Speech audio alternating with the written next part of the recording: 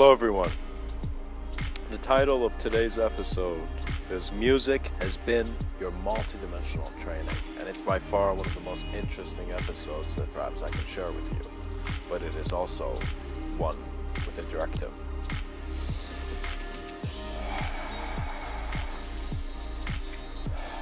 As we begin through the greatest and most profoundest respect for our moment of being and existence. Every sound, every song, every music, every instrument, and every tune we have ever heard has been doing something to the mind of man. Many think it's been giving them joy, and it, has, of course, that's, that's natural. But, and for many, it has opened worlds.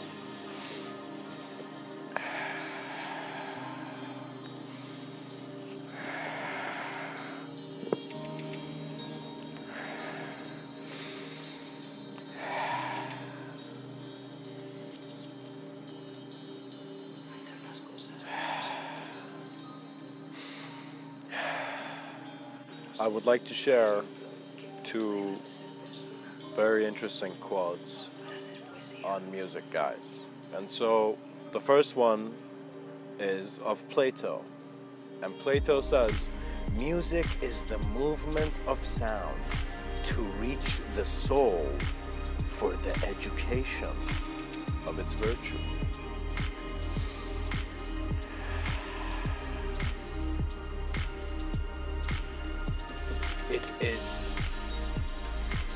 Something that shakes your existence. For sound is more than just a song here, but the presence of the moment, as it suggests.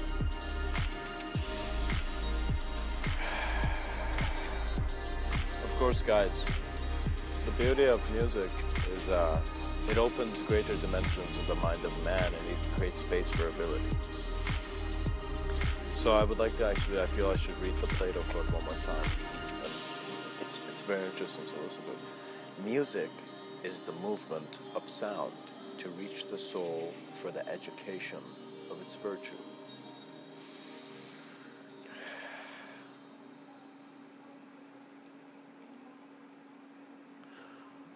I would like to share a quote by Beethoven.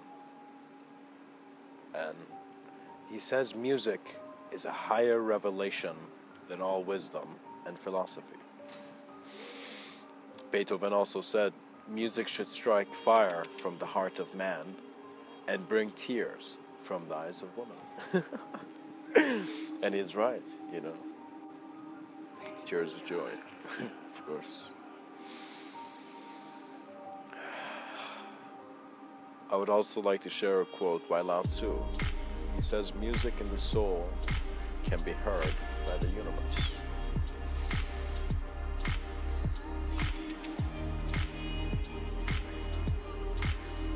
I would like to share a quote by Aldous Huxley.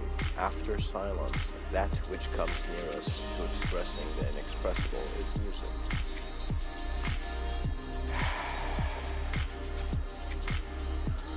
to continue, guys, the reason I'm sharing is to show you how we need to pay attention to sound. And we see there's a collective way we can pay attention to sound, how we're all acknowledging what sound is and based on, you know, the sound spectrum and whatnot. Or it can be your experience of how you are receiving sound. And if you notice, sound is creating abstraction. When I speak, there seems to be imagery around. And as you are aware of this, it seems sound is present in our subtler planes. And when this physicality shakes a little bit, our subtler planes become at times more into our awareness. And suddenly you see uh, many people who transition into states of consciousness actually going to an apocalyptic end because the apocalyptic end is how they are leaving the ideology. For once you leave the ideology, there is no definable moment. There's just presence and existence that knew it was and never needed to ask. For I know my ancestors have come from the heart of stars. Manifestation is not an illusion. Be aware of who you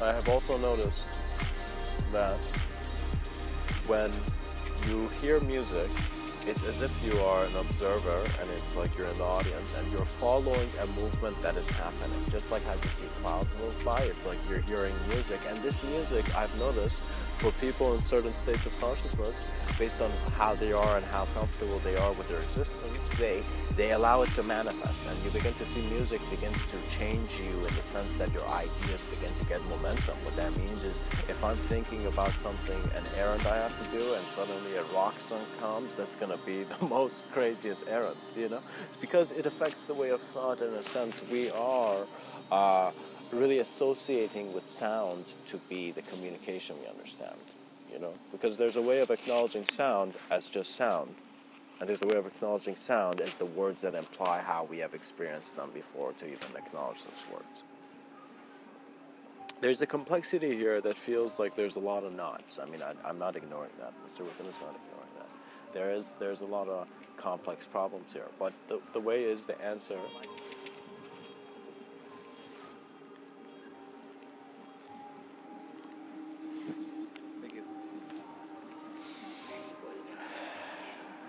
answer is not in where the complex problems are. The answer is actually in the silence. And so we must see the beauty of music can be fully understood within the silence of being. And so you're actually taking your assumption of how you're experiencing sound into a direct experience. And you see, sound is giving you multiple presences. What that means is if you play one song and you're sitting and you hear it, you begin to see it is giving a world. But if you play two songs, you begin to see it's like two worlds, and it's like your observance might not handle it. But if you if you tune into it, the silence is not bothered by the noise. For you cannot listen to something consciously. Uh, by thinking that you're doing it as an idea or as someone. Because a thought is a bubble you're in, which you come out of. What that means is that person who got angry, who wanted to, for example, break something, for a second was in his bubble of thought, in his reality, in his world where he felt like that bench didn't deserve, deserve didn't deserve to stand in the park, you know? and the guy broke the bench. So it, it's, it's very important to see consciousness is always here. You're always experiencing consciousness. Because if you were not, there would not even be an identity to ask. There would, you would not even be aware that there would be. So as this consciousness is here, we're now understanding how it is here. So we're not questioning what is given as if we're, as if like we're not saying we're separate beings. We we're saying innately we are what we experience, and many people innately feel they're unified with this world, and it is because they are. We come out of it. we are present in an intelligent phenomenon. What that means is we are our own intelligence, and then there is a greater intelligence there. And it seems that when music enters your life, when new sounds come in, there is a intensification or an intensifying of your of your experience through how you are receiving sound in the moment. So sound is actually not something that you're receiving, it's just a phenomenon in the moment of your awareness. For external laws are transparent to the observer, to the experiencer, not the object of experience. You're not sustained by individuality because gravity seems to be something that's pulling things where man can't see. This externality is always signifying how you are all of it. For wonder for a second, where would evolution go? How far could the ape evolve? And if the ape in an instant suddenly turns into its planet, and suddenly the planet turned to its galaxy, and the galaxy turned to that which was beyond. What man began to see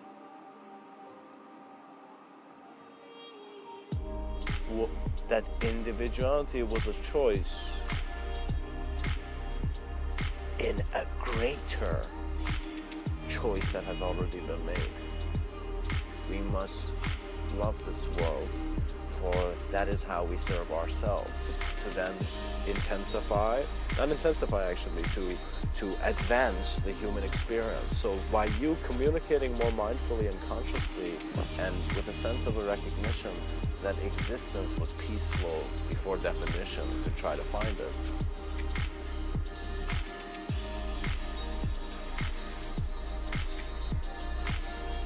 You shall smile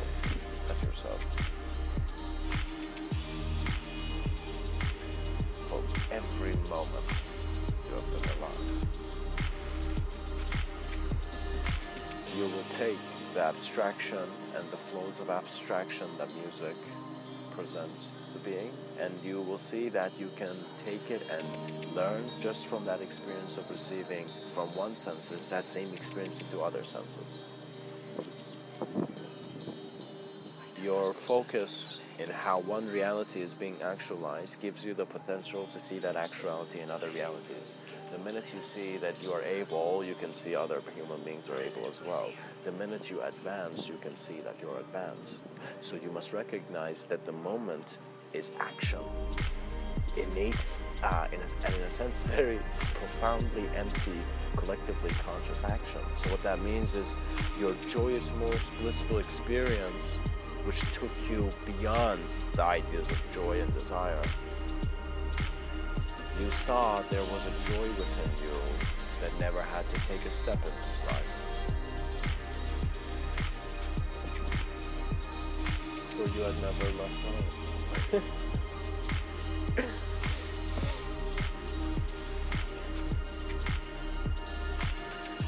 Sounds will come to the human ear in the sense that the human ear will receive sound and in its internal reality give it meaning. So what that means is my voices right now are presenting something to you. And as you're receiving it, a phenomena is occurring. Become aware of this phenomena of thought and you see it as a change. As you become aware of change, change doesn't have to prove anything. We're not here looking for truth. We are here to observe the nature of existential change, both in uh, our subtler planes of thought in consideration and uh, uh in our actual direct experience of this physicality and the observance that is the whole moment. You see? The tutelage is no longer an external one. The teachings are not something that can be given, but uh, something that can catalyze you. Because all that externality can catalyze you is to become aware of how you're externally seeing things. It is time to remember the pilots of consciousness. And to, in a sense, awaken in our new birth of an existential responsibility. Explore your consciousness. See how you have given it meaning and see how it has meaninglessly carried you. Your guides are you.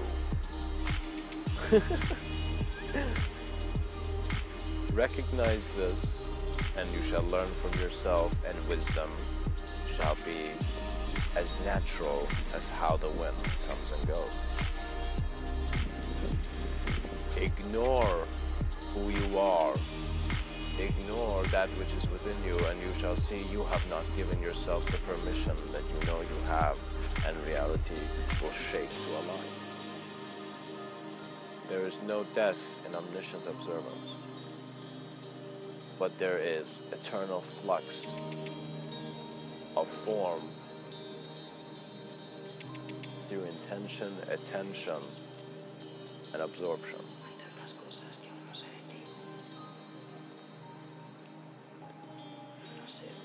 Music is guiding you. Every sound you hear it is projecting an ability for you to consider an abstraction of a world.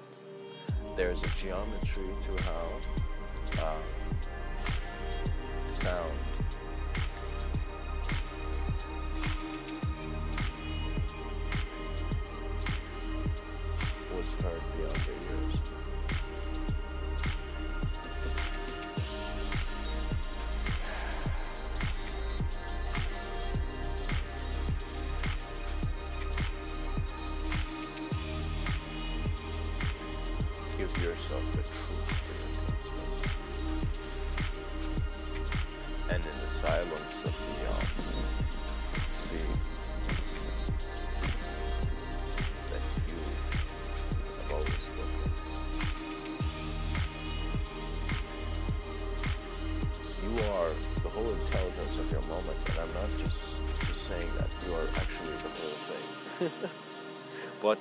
must experience this, and you must look at it sincerely. You must not just throw away your reality and, and you know, suddenly run off to India. That is uh, uh, uh, very naive response.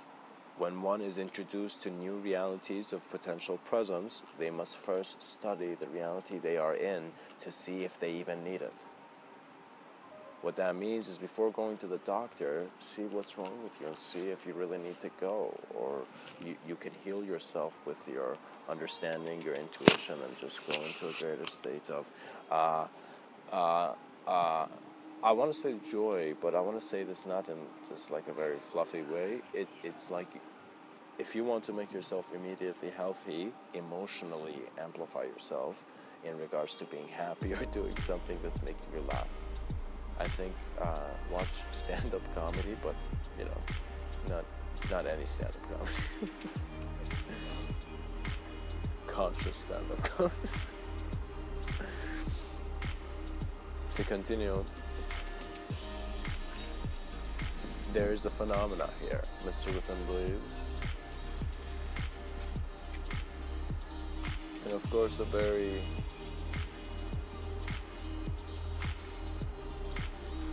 undescribable way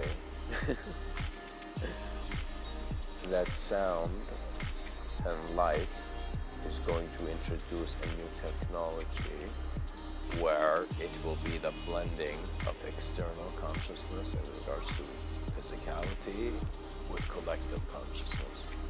It will actually be that perhaps that technology that through connecting the worlds has brought the one world into view.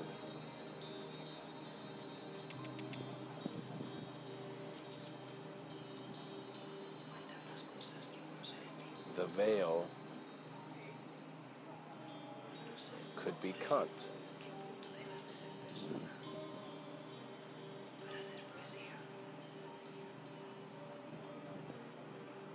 By the sword clarity.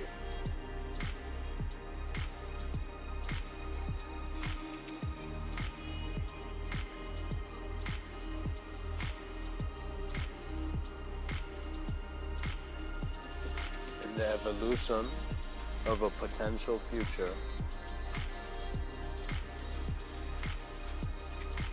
consciousness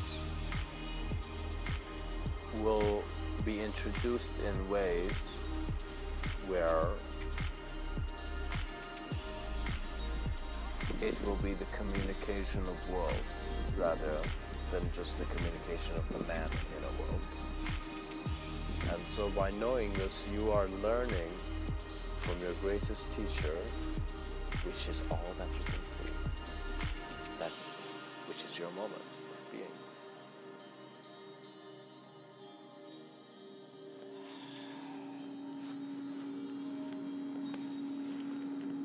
continue, Mr. Within finds all of this is leading to the understanding that music in the human experience has been training man's presence in abstraction.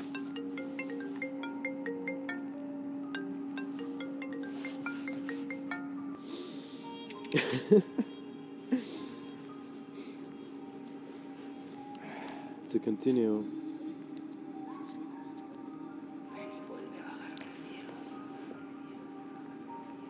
the experience of sound is opening an ability for you to be present in a creative phenomena that is the change in your thought. So when you, for example, see something and you get excited or you see a movie or something, the experience and the phenomena that is happening is a change in imagery that is, in a sense, uh, your experience shifts. So what that means is wherever we are, our environment is defining something that is happening to us. But to be honest, internally, if we never had to speak, we never could not know. Do you see? And this is not suggesting consciously in regards to uh, the, the discovery man has done. It is simply suggesting that if we were to be present, then presence would not be bothered. And so we would be, in a sense, an experiential intelligence that uh, intuitively flows where it needs to be, rather than based on a rationality that, in a sense, can't see everything.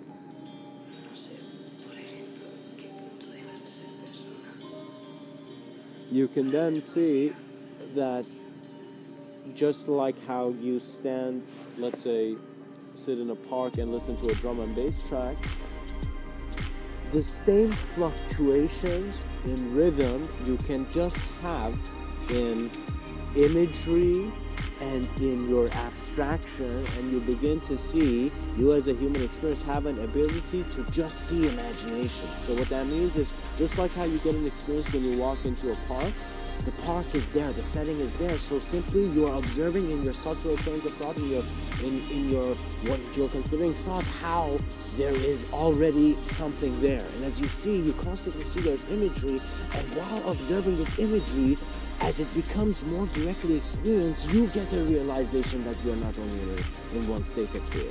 And so you're transcendental in your ability to be more than the, that you are. You see? Evolution meant transcendence is your expression. In a sense, of course, these are my views.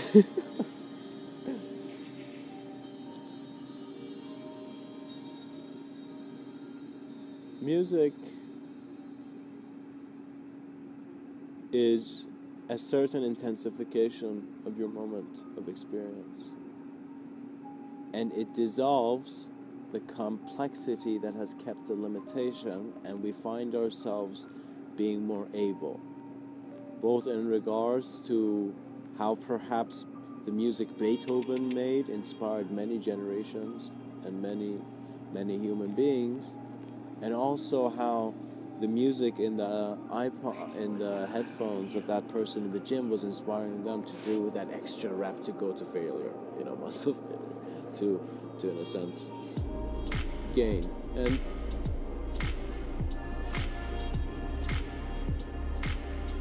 there is, of course, a sense of reality where you see no pain, no gain, because you need to go and experience new territory and go out of your comfort zone and challenge the ability you have for a child, You become comfortable with that which you have always been not that which you're going to be or whatnot. You know, it's like for a second, forget uh, your up your uh, your role and take off all hats and jackets. You know, jackets are legal. Um, and be because it's very important for the human being to learn from just being. And for the mystic and for the yogi, this has opened worlds where he has learned of the simultaneity of experience in the sense that there is not just the presence here, you are individualized in many planes that are actually happening right now. And you can actually consciously shift because the projection is kept in, a, in such a way. But there is also a need for you to trust any fluctuation that occurs. And this trust will come sincerely to you. That means just give a great blessing to this life. And uh, you shall see that this blessing will go hard in regards to bringing you a great journey. What that means is if you for a second had lit the candle of sincerity, in that light, in all darkness,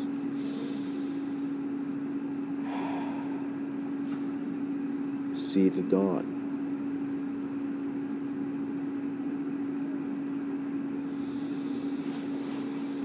There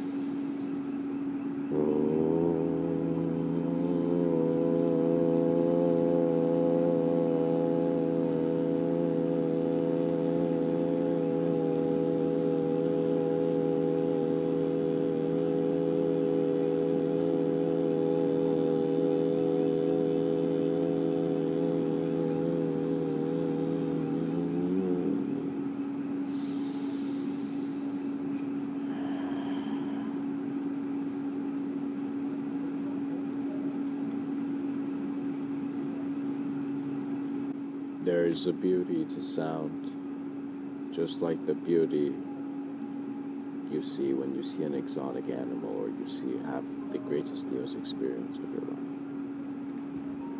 We are projections, but we also know we are more than a projection.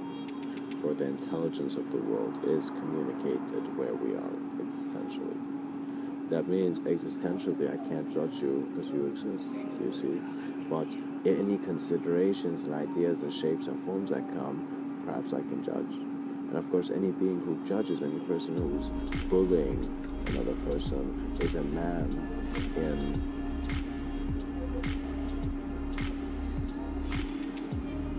in pain. And this pain must be relieved through an instant of knowing where you need to be as a being suffering will turn into a story because you will suddenly look at this life in a way where you will see, oh my God, I've been thinking of what to do, but my moment, my present moment needed my attention. Where I existed, where I physically am, where I'm present, what I'm seeing uh, is, is important. Not just the fantasies that are turning into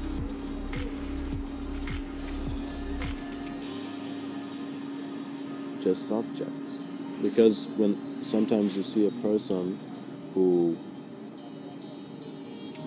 is believing in a who is not adjusted with standard behavior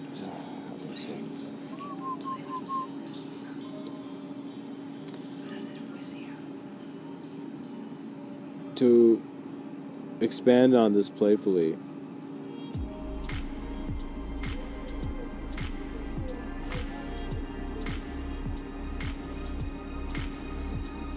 there is no such thing as nonsense as long as you have a presence to the senses. But nonsense is aware of sense. Just like how sense creates objective reality to then be aware of objective reality. Within you, you are beyond stories that are, are just trying to just present you in a subjective world that you're trying to objectify. You're not lost, for the intention of your presence is the intention of the whole cosmos. What that means is at first I thought I was speaking to man, to people. But I noticed no, I am speaking to the whole cosmos. And it is then when the honor of the voice of the heart of the cosmos becomes significant. You know, it, it, it beats. It has always beat. It has always beaten for you.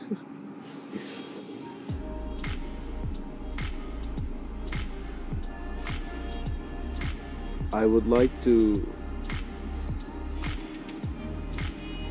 share some mantras with you. I feel what needed to be received from this talk has been received.